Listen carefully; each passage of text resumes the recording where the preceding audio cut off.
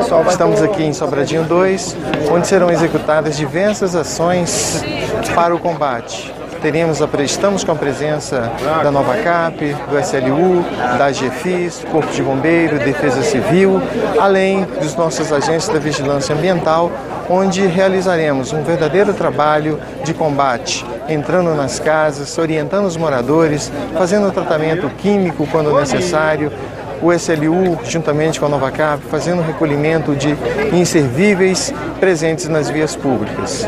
Todo esse movimento é muito importante, mas mais importante ainda é o papel de cada cidadão.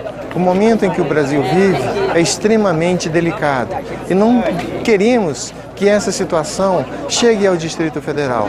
Portanto, é importante que cada morador possa fazer a sua parte.